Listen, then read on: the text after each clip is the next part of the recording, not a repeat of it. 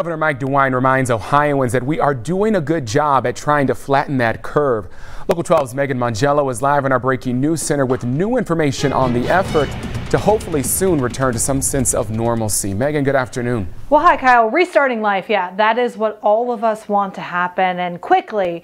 Well, we heard from state leaders today, and they did talk about what will be normal in the future. And basically by saying things won't exactly be normal for a while. Here's some of the main points they made. That stay-at-home order remains in effect through May 1st. Crowds in crowded areas will be bad for a while. It'll be a gradual pullback of restrictions. The first step and the first thing that needs to happen is a steep drop in the number of COVID-19 positive cases. For instance, overnight, here in Ohio, we had an increase of 366 cases. Now there's a total of over 5,000.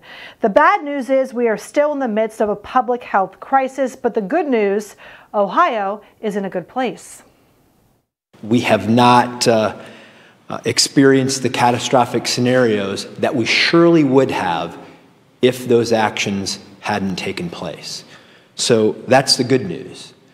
And it's not only the governor's actions, more importantly, it's your actions in response to what he asked you to do Health Commissioner Dr. Amy Acton also spoke out, showing a map and basically saying at first we were initially projecting 10,000 new cases a day. Now that's dropped to 1,600. So that is a considerable uh, difference than what they first thought would happen in Ohio.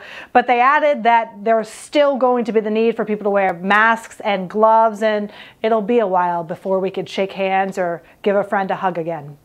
In the Breaking News Center, I'm Megan Mongello. All right, Megan, as always, thank you so much for all of those updates.